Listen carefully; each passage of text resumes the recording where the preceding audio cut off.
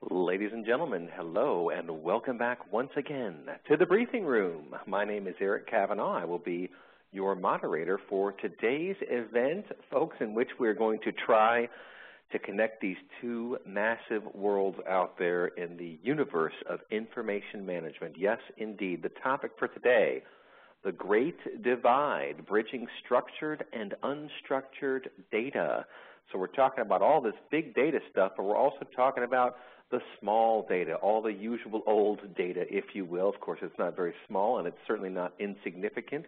It is the entire world of business intelligence and even business analytics that we've been talking about for 25 to 30 years at least in this growing industry of information management. Let's go through a couple housekeeping notes. There's a slide about yours truly and enough about me. So the mission, as many of you know, is to reveal the essential characteristics of enterprise software. So what we do in this show is we pair a vendor with an analyst in the space, usually an independent analyst who's been around for a while and really knows his way or her way around. And we reveal a live analyst briefing for the benefit of a virtual studio audience. I can tell you that the questions from our audience really do help drive excellent content on this show. So don't be shy and don't be afraid to get into the weeds. We have two real experts on the line here today to talk about this technology, which really is finally on the verge of being able to unify some very different worlds of data. So of course we have this structured world mostly in relational databases, but we have all these other things happening out there, hence this concept of big data. And it really is throwing a bit of a monkey wrench into the works. Uh, quick comment on the month. We're talking about analytics this month, so we're talking about how you can derive analysis and get insights from getting this synthesized view of structured data and multi-structured, as some people refer to it, big data, whether it be social media or sensors or log files or any number of other things that come from the operations of a business usually. A lot of this is machine-generated data or machine-generated data caused by people doing things like engaging in social media.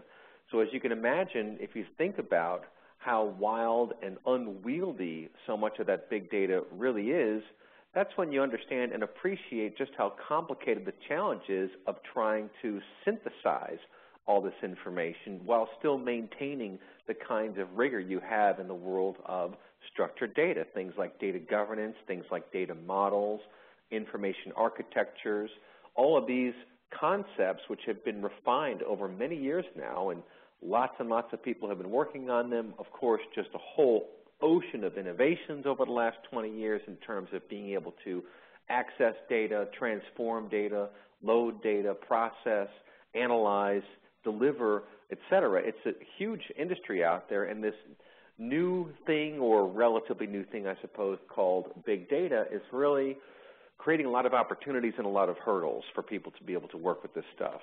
So that's what we're talking about today. We're talking about how we can bring all this stuff together and get a big picture view. So yes, I will, as always, distribute the slides. I'll put that in the chat feature for those of you who have just dialed in. We're very excited, folks, to have John O'Brien of Radiant Advisors. John has been around this industry for quite a few years, and he knows database just about as well as anybody out there. He worked very many years with Foster Hinshaw, who of course is often referred to as the grandfather or the godfather of data warehousing or certainly of the appliance space. Foster's a really, really nice guy and he was a true visionary. He's still out there talking to people, making some things happen. So Teradata, of course, is known for its analytical data solutions. It is the uh, it is the powerhouse in the data warehousing industry. I don't think there's any doubt about that. They go head to head with the big guys like IBM and and others, Oracle certainly in the space. But as you know, the whole space of data warehousing is expanding as well. There's even a new mid-market database data warehouse that's coming out. There are lots of things happening in the field of data warehousing.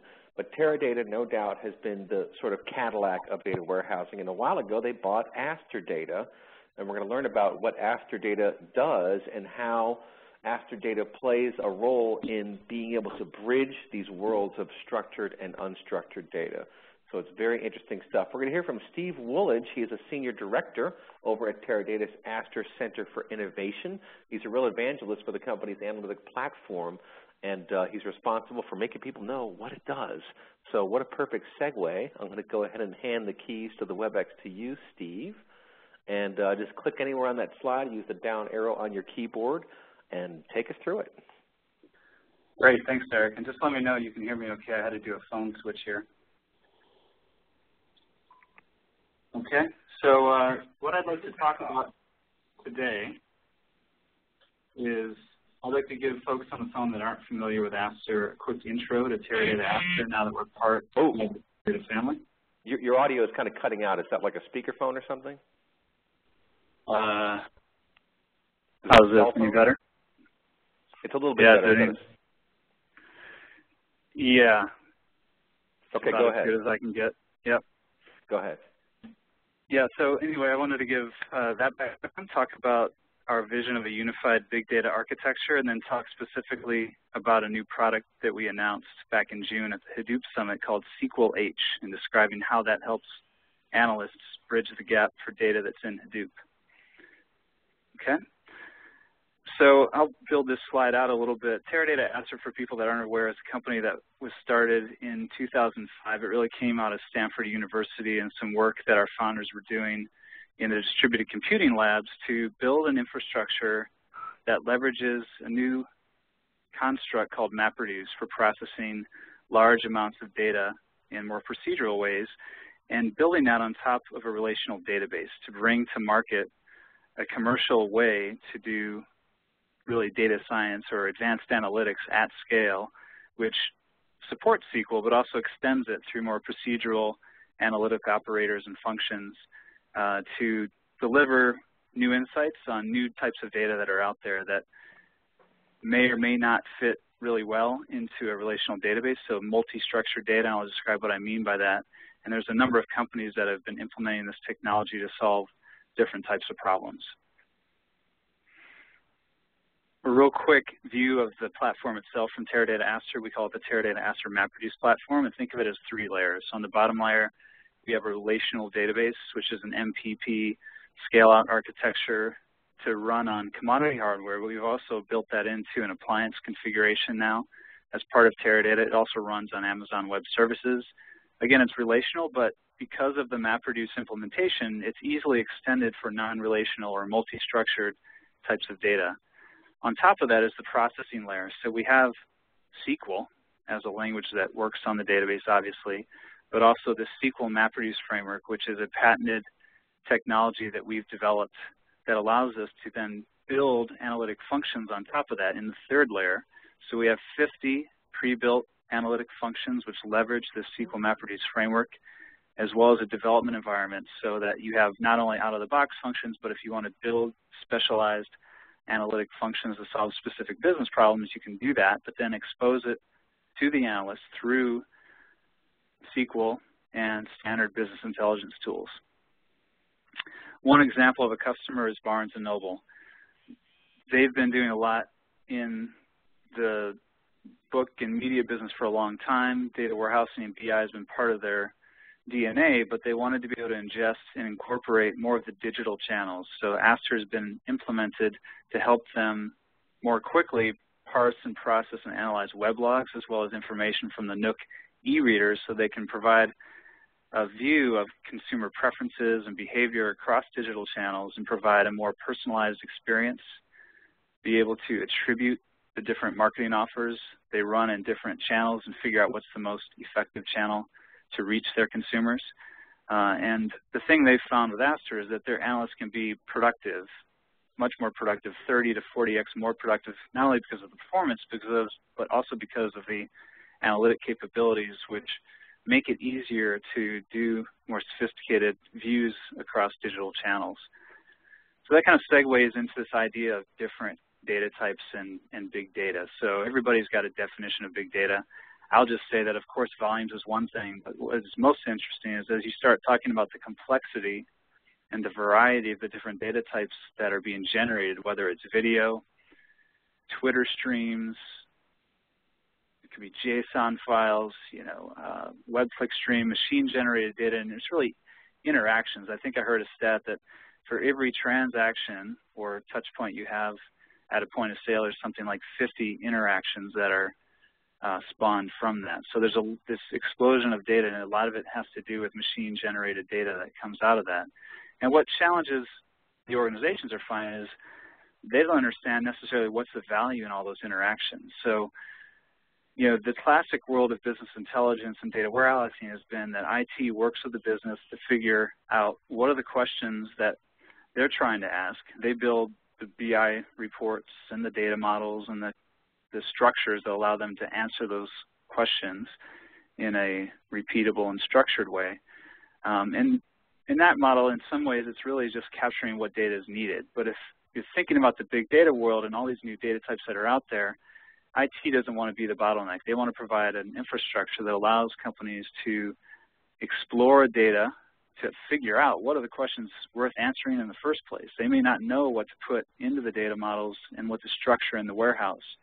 So this idea of data discovery and bridging the SQL world, if you will, with this MapReduce processing flexibility so that you can ingest these more unstructured or unknown uh, structures of data that are out there in a more flexible way without necessarily building out sophisticated ETL trains and um, data models in advance is a great way to help companies figure out and discover what the value is out there.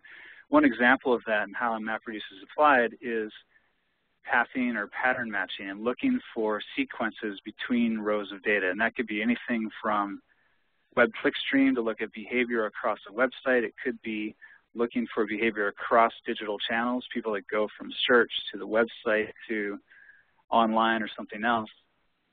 And um, you know, it could be other, really any type of interaction or time series analysis. To do that in SQL requires a lot of self-joins. It requires a lot of sophisticated SQL programming, and that doesn't perform very well and it doesn't scale very well. So there's other ways to skin that cat. This is a busy slide. I won't read through all of it. It's available for download, but this is an example of a customer we worked with who was trying to do pathing analysis across their website to look at what were the three pages somebody looks at over time before taking a certain action. They were running that in a SQL database, and what we did was we ported that to a SQL MapReduce function, and there was something like a 6x performance improvement, which is kind of cool. What's really interesting is that as this analyst wanted to expand the scope of the analysis and look at four pages or eight pages or 12 pages, number one, it was easy to change that scope of analysis. It's just a parameter through a BI tool, uh, really in a SQL statement, that can then invoke the MapReduce engine underneath. Um, but it also does all of that still within a single pass of the data. So it's less code, it's more performant, and it provides flexibility to the analyst to do that data discovery, to look at behavior across the website without incurring a lot of overhead. And that's really the advantage of MapReduce is to provide those types of sophisticated analytics without requiring a degree in, in distributed computing. Um, so, you know, all of that to say that there are different technologies out there, and it's not an always one-size-fits-all type of approach. So organizations have invested a lot in reporting, BI, and data warehousing, but there's an opportunity to uncover value from new data types through new analytics. So our vision at Teradata is to provide a unified big data architecture which stitches together the data warehousing world as well as providing this discovery platform. And then underneath that, provide a buffer, really, a place to stage data so that you can capture it at scale, do some refining, and crunching that down. And if I kind of pull the covers off of what this looks like then, this is really the technology recommendations that we make and, and start to have conversations with our customers about, you know, Hadoop is this new thing that's out there that has MapReduce implemented on a file system. What are the right places to use that strength, the scale out architecture, and the, the cost footprint that's there. Um, but what are the other areas where that will plug into the infrastructure? So one of the things we'll talk about today are how these systems are connected, what are the specialized workloads they support, and what are the, some of the new innovations that we're building with the Hadoop community through things like SQLH, and what does that provide in terms of value to the end customer. So in terms of data connectivity, every database vendor out there has ways to move data between Hadoop and their system. We've got that too, but we really see the opportunity to help analysts get direct access to the data in Hadoop without having to replicate it all the time between systems. And if you look at some research that's come out from ESG recently back in April, they talked about what are some of the barriers for organizations that are trying to do big data analytics. And there's certainly a lot of technology considerations, but the thing I hear over and over again is that it's also a lack of training, a lack of skilled professionals, and sometimes time constraints on the tools and the, the people that are out there. They don't necessarily want to have to learn new technology. So the more we can plug new technology into the ecosystem that's already there, the better it will be for the end customer in terms of the, the total cost of ownership. So really that's what we talk about is how do we bridge that gap for the business analyst to be able to access some of these new data types that companies are looking to stage or store in Hadoop. And SQLH is an innovation that we built together with the Apache Hadoop community. Uh, Hortonworks was this company that really was driving a new project called Hadoop Catalog, and I'll talk about how we've integrated with that. But what this really does is Aster SQLH provides that view to data in Hadoop through a standard ANSI SQL interface. It allows companies to leverage their existing tool sets, the people they've got in place, and it also allows some of these new SQL MapReduce analytic functions and applications that we've built to run on top of those data sets. So it provides not only faster access to data at scale, but also a lot of valuable new analytics to make it faster and easier to find new insights in the business. So if you think about the big data architecture, as I described it earlier, I think there's some gaps. From an analyst perspective, they're trying to get at the data that's in Hadoop or HDFS, and what we often see is that it requires a lot of custom code or development on the part of a data scientist or a data engineer through the MapReduce interface or leveraging tools like Pig and Hive, which certainly provide some levels of abstraction. But in that world, IT is really the optimizer. There is no concept in a file system of a query optimizer or data locality. So performance becomes an issue and the ability to use straight BI tools to do machine-generated SQL. So what we've really focused on is taking the SQL and the SQL MapReduce interface that we have and really extending that to allow business analysts to access data in Hadoop through the SQLH connector so it looks like just another table in a database and they can just write their SQL or use their BI tools without having to think about it and have those data connections be automatic and maintained. So how this works under the covers, as I mentioned, Hadoop Catalog, or H Catalog is a new project uh, under the Apache Foundation, which is really a metadata repository that links different sub-projects like Hive and Pig through a standard uh, library or catalog of how data is stored across these different systems so that if you understand how the data is stored, you can access it through a standard interface like SQL through the SQL H adapter that we built to support BI tools and, and standard JDBC and ODBC connectors. So another level down then, what's happening is the analyst can access data. It's a view into data within Hadoop through Aster SQL H, and we can push down filtering now. So instead of moving all the data from Hadoop into Aster and, and replicating it in two different systems, you can just on the fly have a query that's generating saying that if I want to look at clickstream data from Hadoop for a certain date range, we can push down that filter to Hadoop and bring back just the data that's needed to complete that query. Uh, we persist that in memory for the analyst to run that query at, the, at that moment, and they could persist it then within Aster if they choose to, to be able to do other exploration on top of it, or they can just let it expire so that you don't incur the space of the data uh, that you're bringing in, but it allows you to access that data as needed on the fly. Um, the thing to point out is that there is no MapReduce processing happening uh, on the Hadoop side within this configuration. So we're direct accessing data within HDFS and pulling it back in. All the analytic processing is happening in memory within Aster. So there's performance improvement there. We're not going through the Hive interface, which incurs some latency because everything described in Hive through that declarative interface is translated into a MapReduce job running in Hadoop. And I'll talk about some of the performance things later, but we feel this is a better integration to supporting straight ANSI standard SQL.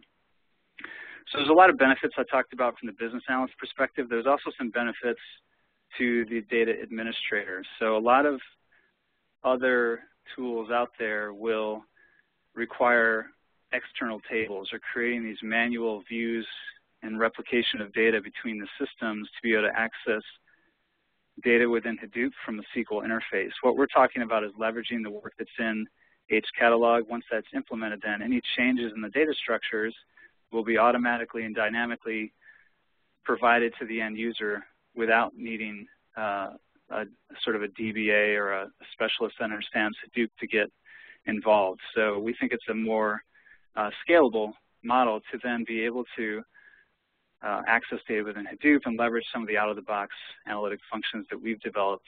I won't go through all of them here. Again, these slides are available, but uh, we're doing a lot to help companies do path analysis across different digital channels. We're doing some things around text analysis, sentiment analysis. We have some statistical functions there, but it's not meant to replicate what would already be done in SAS or R. It's just for uh, some of the simpler statistical functions that are out there, as well as data transformation, things like sessionizing or doing weblog parsing. A lot of those bulk transformations that need to be done to do analysis are also provided out of the box. So we want to be able to deliver that on top of what Hadoop is providing um, in terms of scale and, and the HDFS file system. So that's a, a quick view into the technology. So then the question we have with customers is, you know, that sounds really interesting, but you know, you've got Teradata, you've got Aster and this discovery platform thing. we are looking at Hadoop. We're not sure how all these things come together. You know, what's your advice? How can we we figure out the best way to support the business? So what we've been building and working on is a more consultative discussion tool, really, to talk about the different data types in an organization, as well as the different workload requirements. And I won't have time to go through this in detail, but you know, we really see three different types of schema requirements, if you will, for different data types. One of which we call stable schema data, which is really um, thinking about a schema that's been defined for things like financial analysis or point of sale data where it's a pretty known entity. That schema is not going to change as frequently as something like a website where that design and that strategy and things like search engine optimization is driving change much more quickly. So that's an evolving schema type of application where things are a little more fluid under the hood down to format no schema. So things like text from social feeds, documents, or image processing where they have a structure. It's not that it's unstructured data, but it's just not a structure that's easily analyzable in a relational format, and it doesn't fit into a schema. And then going across the top, you've got anything from data loading, storage, transformations, reporting, and analytics. So the guidance that we give kind of as what's the best approach by workload and data type is the following. So Teradata, obviously very well known for having the best SQL engine in the market. Uh, built really the data warehousing category and anything from financial reporting to analysis and point of sale data, anything that's structured data, those ETL jobs, that workflow has been built, analytics out to hundreds of thousands of users. Now we do have organizations that are looking at Hadoop for some of the structured data that doesn't have as stringent security, metadata, and data lineage requirements. It's not something that you would necessarily use to balance the books, but in terms of large scale and a place to store and um, ingest some of this data, Hadoop is becoming an area that our customers are looking at. When you talk about interactive data discovery around the evolving schema types of applications, Aster is the right place to do that because of the way that we can ingest web clickstream on the fly. We've got things like sessionization, Apache Weblog Parser, et cetera, and all the advanced analytic functions that I talked about earlier again, I don't have a ton of time, so I'm just breezing by this. There's a white paper that describes this in more detail. And then Hadoop. Hadoop fits really well, and I'll show you some numbers in terms of performance for ingesting and storing large amounts of format, no schema data, the documents, text, et cetera, where uh, you don't know the structure or you just need a place to store it. And what better place than a distributed file system where you can store all these things without having to worry about data structure and then doing some of those transformations or parsing or batch scoring uh, to, to refine that data and then get it into a system where you want to join it with other structured or evolving schema data to do further analysis. So again, this is a, we could spend an hour just talking about this, but it's been a really good conversation tool for us to discuss what's the best way to solve analytical problems from a customer perspective. And you know, really backing this up, I guess, is is some empirical evidence that we've built out together with ESG, which is a third party that does a lot of performance testing. We've spent a lot of time really thinking about how do we bring these technologies together, what are the performance characteristics of each on different data types. And what we found is that for loading data, Hadoop is extremely fast because it's a file system. It's simply copying files from one system to another. Uh, so that's a great place to land large amounts of data. It's also a great place to do data transformations because of the batch-oriented nature of the file system and the MapReduce engine that's there. Uh, that's great. But because of the way that Aster has integrated SQL with MapReduce, we can leverage the best of both worlds, and we see significant performance improvements across all the data types uh, once you get it into that analysis paradigm. As well as the development side of Aster is extremely fast and intuitive. And just a, a drill down on this is web clickstream data.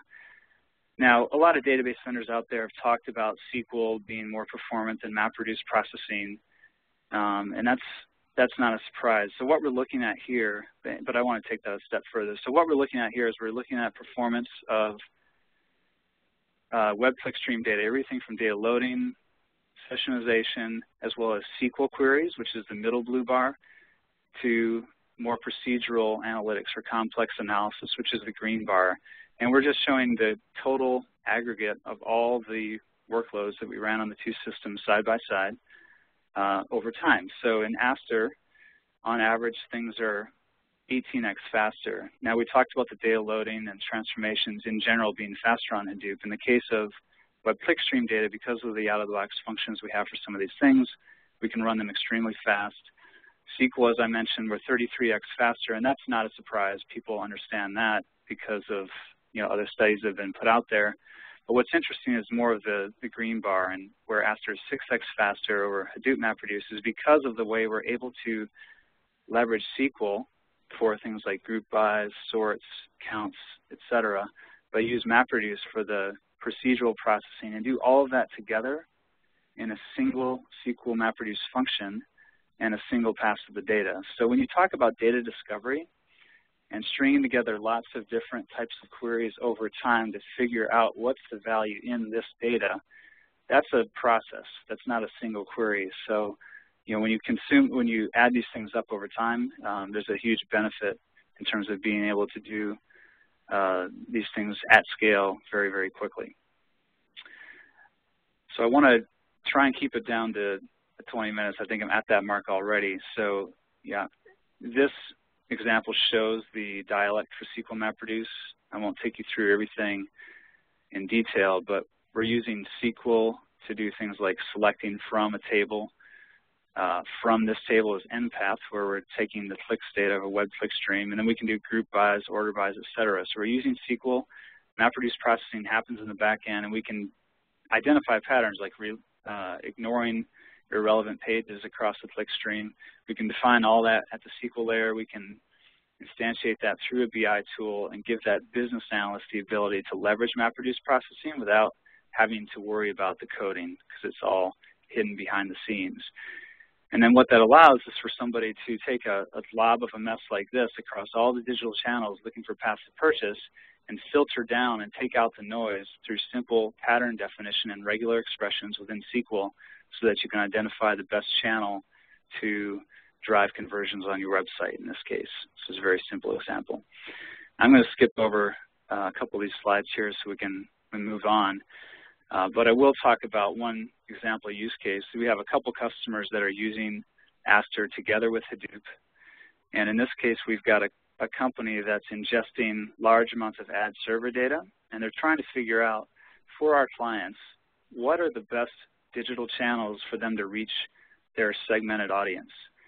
So they leverage the scale of Hadoop to ingest those ad server logs. They transform that into cookie level data they move it into Aster, where they're then joining that with web clickstream, aggregated data about what spend has been through different digital channels as well as custom data from the client. And then the analyst is using a BI tool to discover what are the best marketing channels for this organization use to reach their audience. So they're doing segmentation and uh, analysis, et cetera, et cetera.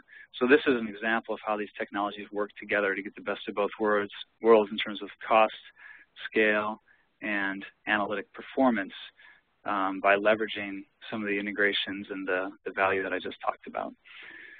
So with that, I would close out and say that um, you know, big data is a fast evolving market. Hadoop is a good new technology that's out there, and Teradata is really focused on how to leverage those new innovations and bring the most value to our clients. We've also done a lot with the Aster product in terms of building out the analytic functions um, that companies can use to solve specific business problems and really bring data science to the business analysts without having to buy new application layers or train a bunch of people up on new technologies. And it's really about bringing these things together to provide the best of breed approach for customers. And if you've got questions on it, there's a, a little link there for you. So I'll kind of pause there and turn things over to, to John O'Brien.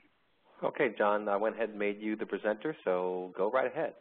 Okay. Well, um, thank you for that, Steve. It was uh, uh, there's a lot to take in, and I'm sure a lot of people are downloading that PDF. So um, let's jump into uh, some of the information and background. What I wanted to do first was uh, talk a little bit about um, the article that we recently released um, on the Bloor Group through Inside Analysis. So that uh, the summary of, of that um, article really is just to describe kind of the point of view that um, I have on a lot of these topics. Um, as you mentioned at the beginning, I've been in the industry about 25 years, uh, most of that at companies as well as um, quite a bit of it at um, as a vendor, just like Steve, as a CTO for Dataupia for about five years, and then also as the advisory services in the last few years coming back out into the market, so as an analyst. Um, I think also like Steve, I also have that I noticed uh, we both have kind of engineering undergraduates with uh, MBAs. So that's kind of a perspective. Now, if I jump into the article, when I was talking about um, bridging this great divide between unstructured and structured data, one of the things that I see at companies time and time again, this was really the, the whole concept of context and where does context live. Uh, we know that in the structured world, we have analysts and data modelers who work with the business, understand, model that, persist the structure, and we populate that structure with data. And what we've done there is really put context in one place so that many, many people through standardized tool can leverage that context. And that's the, the yesterday of, of the BI world, if you will. We've gotten a little bit more agile, if you will, by putting abstraction layers on top of our physical databases, so it's easier to build these mappings because they're more flexible, they're easier to change, they're easier to adapt to the rate of change of business, and more importantly, they're also able to deal with multiple contexts. Uh, I still hear in many companies the whole uh, multiple perspectives of the truth or the one version of the truth. So this is part of the structured world that we lived in. In Hadoop, or in the unstructured world, one of the things that's great about that, there's lots of great things about the Hadoop platform, but one of them, from a rigid perspective, because it's not as mature as some of the other relational database technologies, it was actually born out of a need to work with information in a different way.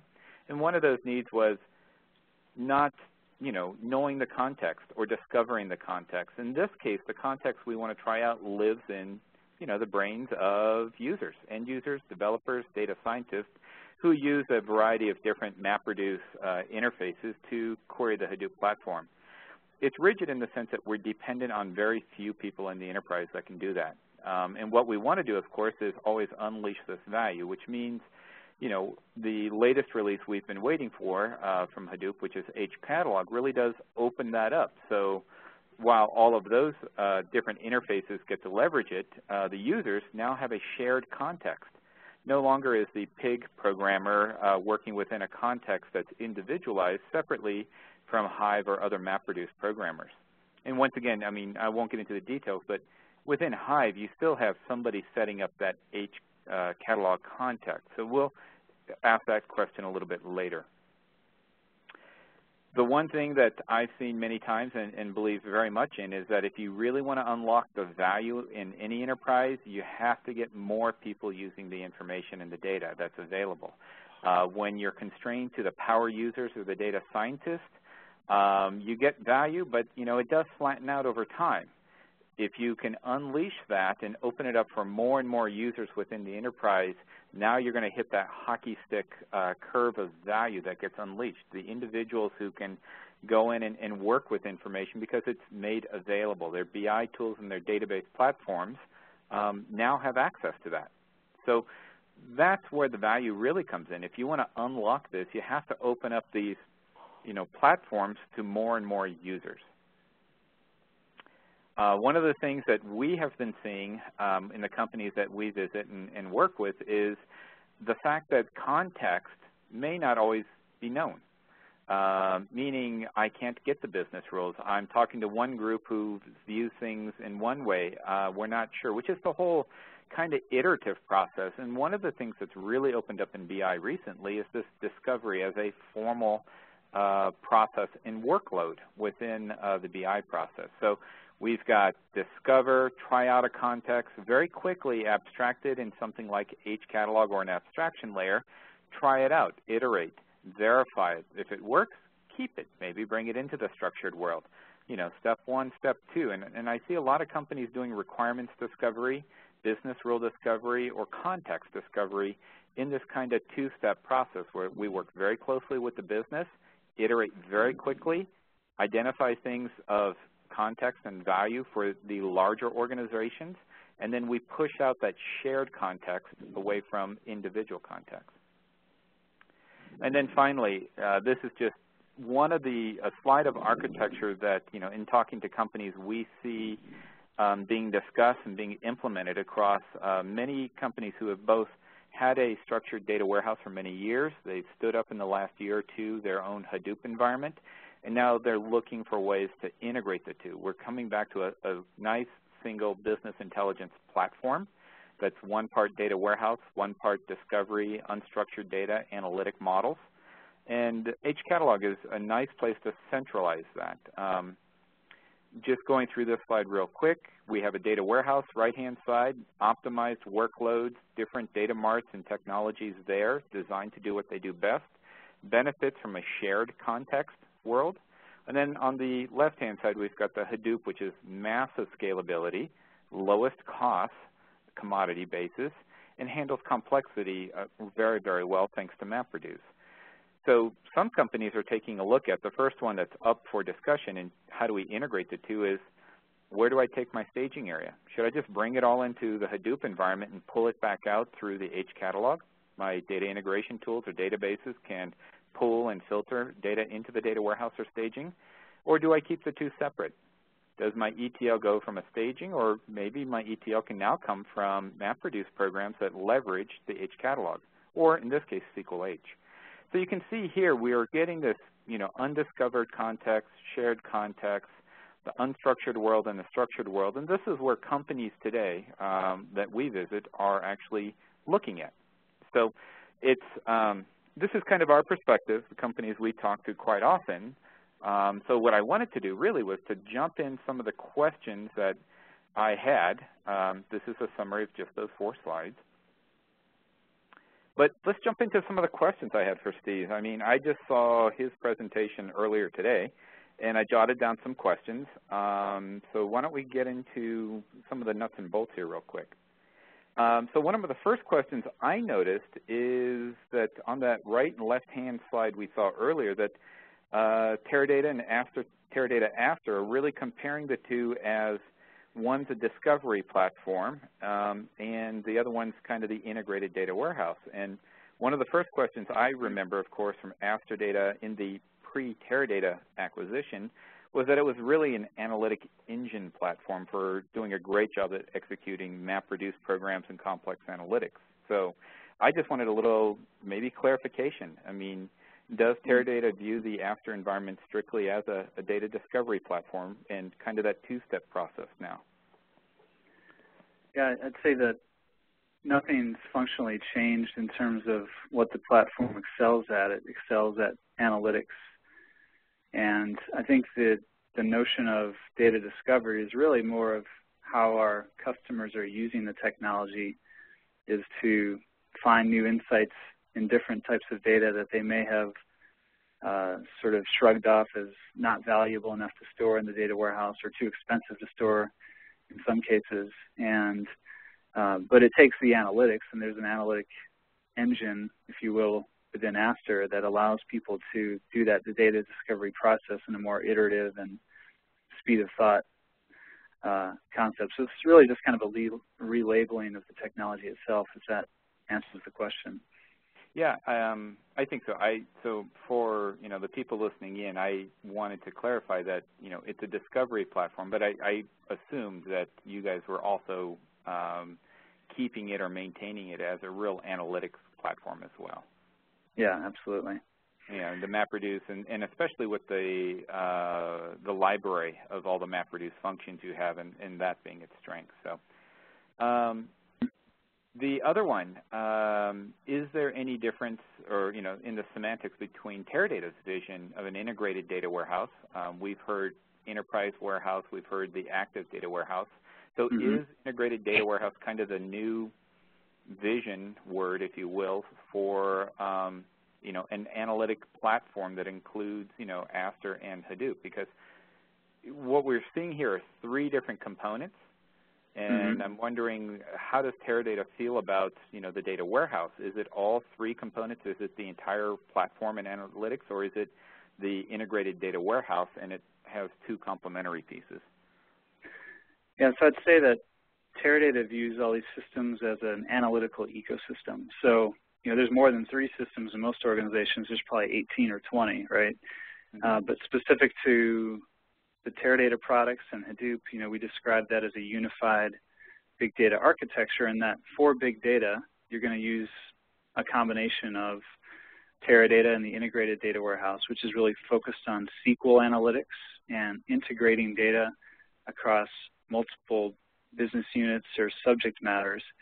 Um, so this concept of an enterprise data warehouse and sort of one system to rule them all, I think that's something that uh, the reality is is that there's just a, a, much more fluid technology landscape out there. So I think what you're seeing from Teradata is that the integrated data warehouse is really how we describe the Teradata database technology and, and sort of how that fits in.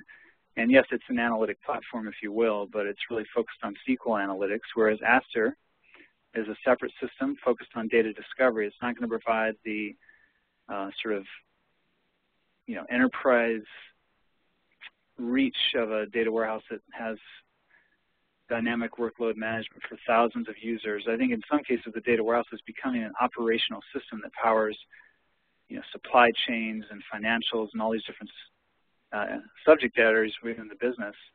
Um, Aster is really not focused on that. We're focused on more of data discovery and the analytics. And then Hadoop, I think, is a, a great new technology to leverage the scale and the cost infrastructure and the file system really to be able to ingest these different data types um, as really, as I said, a staging or a refining area to process that at scale into a format that's consumable and analyzable um, by the Teradata systems or you know other systems that you may have in your organization. So that's thoughtful, so, but that's how we think about it.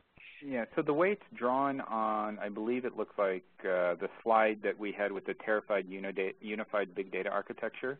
There's also an arrow that goes from Hadoop to the Teradata Integrated Data Warehouse.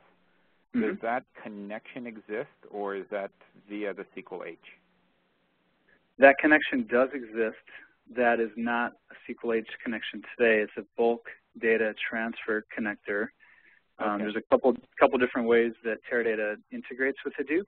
Uh, one of those is a commercially supported capability called the Sqoop connector from right. Cloudera. Yep. Yeah, I think the Sqoop and the JDBC connections, um, I think you mentioned the other white paper that you guys put out with Hadoop uh, went into some details with that. So I, would seen that one earlier as well. Mm -hmm. Mm -hmm. um, so that makes a lot of sense for me as well. Um, I think of Hadoop as a great low cost to store all this data. And one of the things we talked about in our article as well is that, you know, if you don't know, if you can bring in all the data, but if you don't know the context, then you don't know the value, right? Mhm. So in that case, it's a great place to bring everything in to discover context, to discover value, and decide where it needs to go from there. Um, one of the things that we've seen kind of differentiate in our clients also is this concept between analytics and SQL analytics and then the concept of advanced analytics. And I can see the Aster platform serving well there. So a couple other quick questions here. Um, who defines or how, uh, does the H catalog need to be defined before you know, uh, SQL H can be run against it? Yeah, so that's a that's a, a one-time setup, if you will. I've never administered HCatalog myself personally, but it is something that would be set up, and then it provides that data dictionary across the different Hadoop projects. So it's really a mapping to know where data is stored in the different directories and subdirectories within HDFS. So uh, once that's set up, then when we access it, it looks like just another table uh, within the uh, the Aster SQL or SQL MapReduce interface. Okay, and then once uh, that that needs to be set up before we can leverage SQL H, and then Mhm. once we have that in place, we leverage SQL H. When you're deciding to bring data into uh, Aster, do you bring data into Aster via that connection? So Yeah, so- in the refinement, you, you bring like, okay, we've got a an H catalog table. We want to now bring that into Aster so we can continue daily wise or real time processing our analytic model. Um, do you bring that into the same table that matches the definition within H catalog then? What we so there's two ways to do it. Um, so what you're referring to is a way that we access data from Hadoop on the fly using HCatalog and our our connector really, which is SQL H. So the analyst may not even know the data is coming from Hadoop, but as part of their SQL construct, they're saying select from table called clicks, and that clicks table may be in Hadoop. Uh, that data will come in at query runtime into memory within Aster. Uh, it will be joined with other data that may be persisted within Aster specifically, and is you know in those tables, and the and the the query is run, and it's all stored in memory and persisted there. Now, if the analyst says, well, I want to take that data and persist it long term in, in Aster because I want to continue to iterate on that for a, a series of queries, that may be a good option, and they can just do a create table and Yeah, put because I was thinking that they might want to incrementally refine, like you guys say, filter, mm-hmm. refine, and, and find based on this model a set of data that they want to just add to every day and then join and run other, you know, analytics on that. So I didn't know if when they did that, they brought it into, I guess they can bring it into any table structure they want within Aster, right? correct. And the Yep. main thing is I think we're bringing it from the unstructured world via an abstraction definition into the structured world. And I wanted to make sure that we weren't bringing Mhm. in, you know, key value pairs into Aster data and, and executing that way. Nope, nope, you're right. Okay. It's leveraging the relational uh, foundation. Yeah. Have you seen whether or not companies take the output of some of those analytic models and then persist that as well within Aster or bring it back into Teradata to be used operationally? Or is it all on the fly, kind of call and calculate on the run? Do they kind of do this materialized view version, if you will, of the analytic model? Yeah, you could persist the model, and we do things like in database scoring within Aster, and, and companies could use Aster to do just reporting and analysis, you know, within a small group as well within the organization. But when you talk about integrating data and taking some of those new insights from a new channel, let's say your your web clickstream channel, and you already have a let's say a scoring mechanism within Teradata across you know your point of sale data and other information, it makes sense to join it there Mm-hmm. and serve the you know hundreds or thousands of users that are leveraging that information from the data warehouse where you've got the dynamic workload management, uh, security, metadata, all those things. So um, that's really how we see the things working together, and I think you know I think that's how it works. Okay. Um, so, I mean, that makes sense. I'm just thinking through the flows that we see in a lot mm -hmm. of mm-hmm. companies. And, and for Eric, um, I know that I've got a couple more questions. I just want to do a time check with us real quick. You can keep going. Okay, great. Go great, great. I mean, I, I, saw some of the questions pop up, and I, I, think there's some of the ones I was asking as well, so I, I think we're taking those into account. Um, one of the other things I wanted to understand and distinguish is SQL-H coming out of the Aster environment, working with HCatalog now, will end up working for a lot of companies that already have Hadoop with Hive in a very similar fashion where they have Hive and they have the abstraction layer there. They might move it to HCatalog now. Um, I think, I'm assuming here that we're saying for those people with Hive moving to something like an Aster, you get the additional benefits of your, your portfolio um, tool, which has all the pre-canned libraries that I know, like 50 some odd programs, as well as you know, an environment that's probably more scalable than a lot of Hive environments. Does that sound about right, or is there other things in there as well? Yeah, I think you've hit on a couple of the points. I think what we're also seeing in some of our initial performance testing is that the way we access data using SQL-H from HDFS bypasses a lot of the latency that Hive creates through the way that it translates HiveQL to MapReduce jobs. So we're also seeing a performance improvement in terms of this integration. Um, you know, and for people that really want to drill into this in a lot deeper detail, I will just put in a quick plug. There is a webcast we're doing tomorrow, actually, with Hortonworks directly, talking about this integration with HCatalog and SQL-H. We'll actually be showing a live demonstration of how it works. So if people really are interested in this, you can just go to our website and register for that webcast tomorrow as well. Uh, but I think you hit on it in terms of um, you know, some of the scale and uh, performance characteristics was a bit I wanted to also highlight.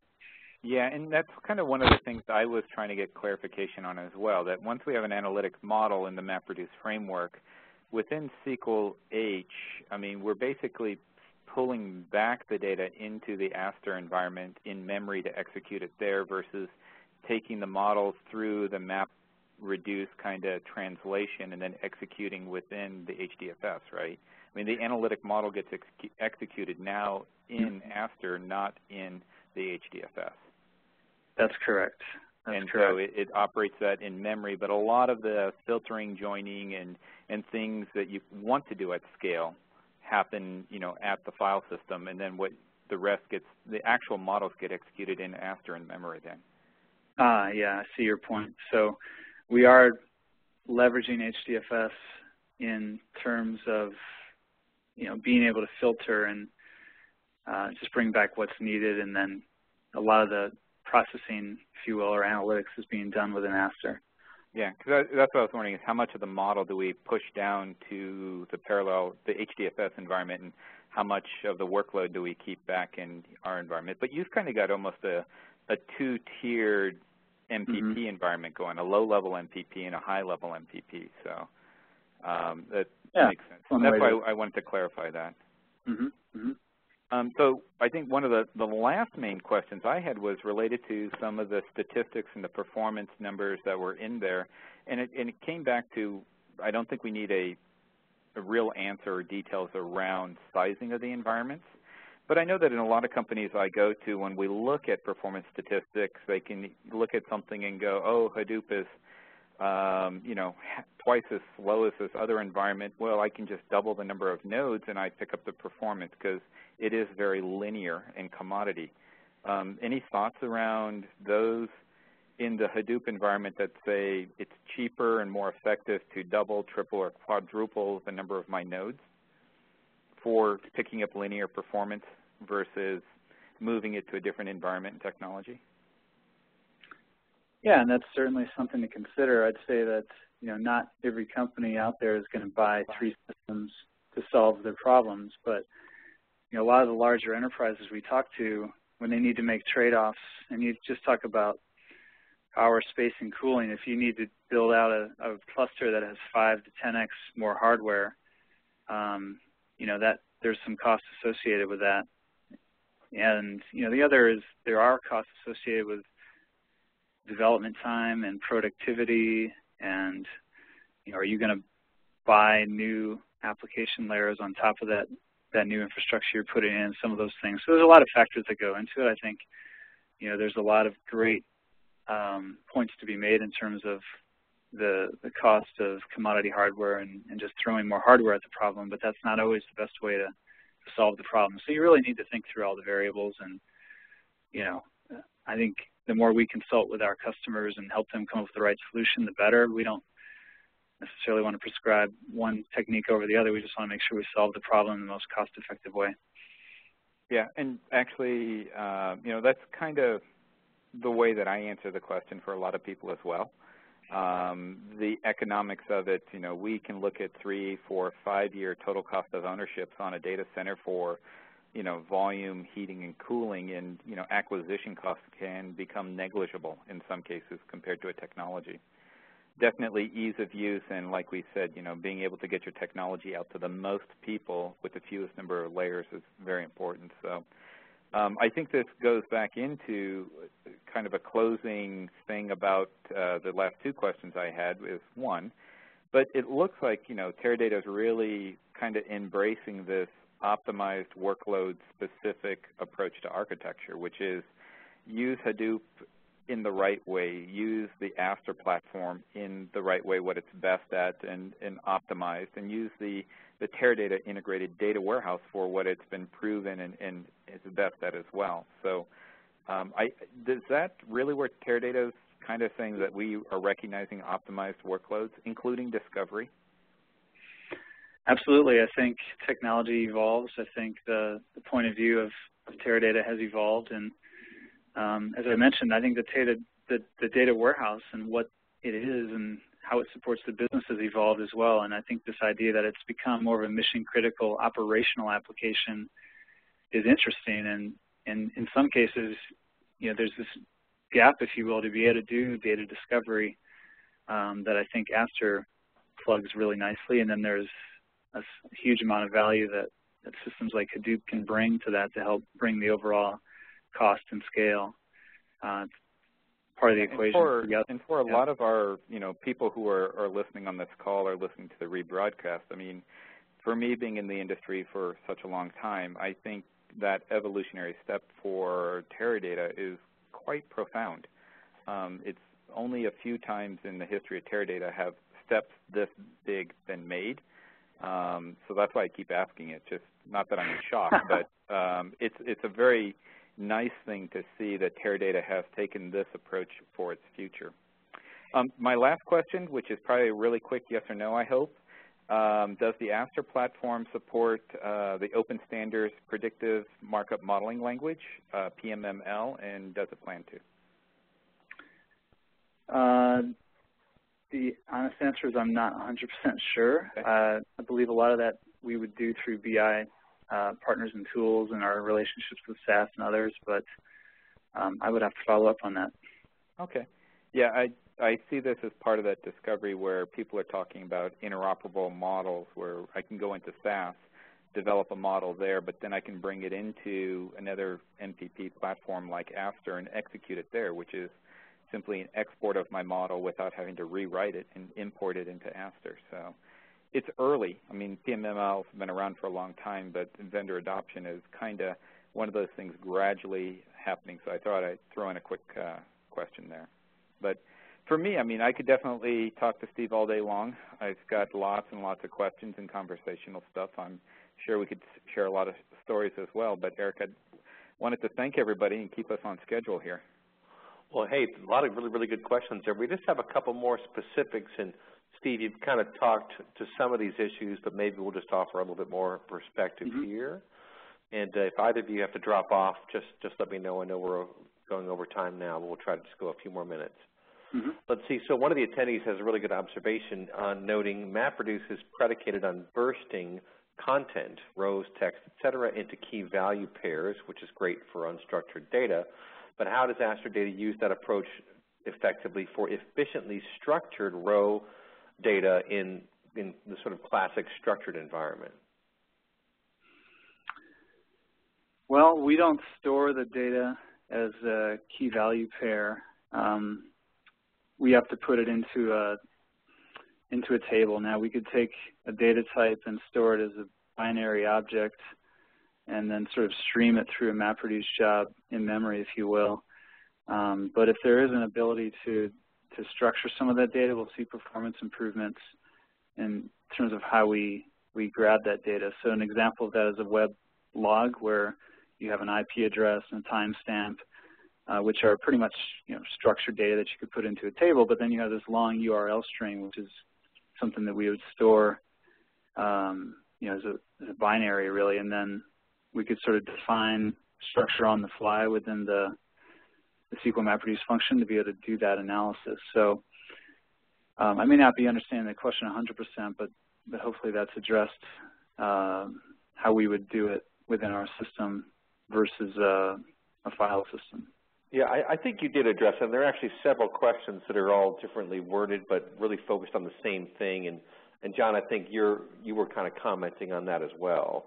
So it's basically how do you use this new framework to uh, to do new things with the old world of, of structured data, essentially. Yeah, and, and I think that's where the value really comes in. You can just bring it into Hadoop, um, let it pour in, burst in um, as the key value pairs, and then come back and iterate and discover what is that structure in the HCatalog area. And once we discover what fits and works and has value, then we can open it up and people can start accessing it. So that's the beauty of that flexibility with that abstraction layer.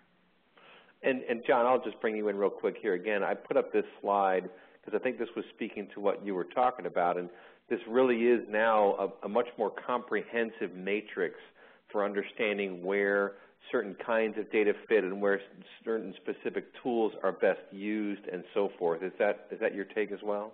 Yeah, it, it's a it, it's pretty profound to me um, and I'm very happy about it. Um, we all wondered what Teradata was going to do with the Aster Data acquisition. Um, some of us thought that uh, it was going to get integrated into the mothership of Teradata database, and some people believed it was going to be, you know, kind of hardened and, and, well integrated into this ecosystem. So, um, I am one. I very much believe in an, an, optimized workload approach. It's what we work with all our clients on developing. Um, now we have more tools to choose from. Okay, good. And just using one the right tool, right? Oh yes, uh huh. And uh, Steve, I know you kind of talked about this earlier, but I think we had someone who came a bit late and just has a very specific question I think would be helpful for folks. Simply asking, uh, is SQL-H a proprietary version of HiveQL? No, it's uh, really has very little to do with Hive in terms of the interface. Um, H catalog is really the way that data could be stored in, in Hive or, or Pig and other things. It's just a mechanism for us to access that data um, and, and do the analysis in the Aster layer. So I guess to answer the question, H catalog, it's the pure open source version. Um, we're not doing anything proprietary on that side. What is proprietary, though, is the SQL MapReduce framework and the way that we've integrated with HCatalog. So if you want to leverage sort of the SQL interface and the, the analytic functions that Aster has, you'll need the Aster technology. Now it's freely available as a, a free download. At, it's called Aster Express, so you can download it, begin to play with it, um, connect it up to data in Hadoop if you like, and those types of things. But uh, at sort of at performance or, or at production, you'll need a, a license of it. Yeah, and I think that's really what represents the bridge, if you will, between that structured and unstructured world, because we're trying to bring the the SQL-based world and the unstructured and the you know relational database engines in an MPP framework, and that's really where they intersect, which is um, uh, I believe Teradata has, I've seen in the past some white papers that say, and for me this was a big question, you know, coming out of the MPP world as well, is it just a user-defined function? Is it just a table call? And it really is much more than just a user-defined function that's pushed into the database and callable. Um, it is much more in a true MapReduce framework, which um, Teradata has done a nice job with. Okay, great. Well, folks, a lot of really good questions from our audience. A lot of great questions from you, John. You did a good job of uh, synthesizing some of the questions that came in from the audience. But obviously we're going to hear a lot more about this stuff in the future, folks. We are standing on the precipice of a very significant shift in the industry in terms of how we solve these problems and which tools we use and knock on wood, I feel that the open source movement is really being embraced by a lot of the big investors.